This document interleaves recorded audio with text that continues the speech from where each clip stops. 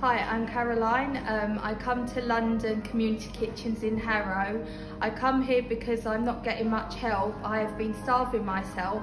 Uh, some days um, I haven't eaten because of not knowing where to get food from or how much is left. Um, it's very terrible and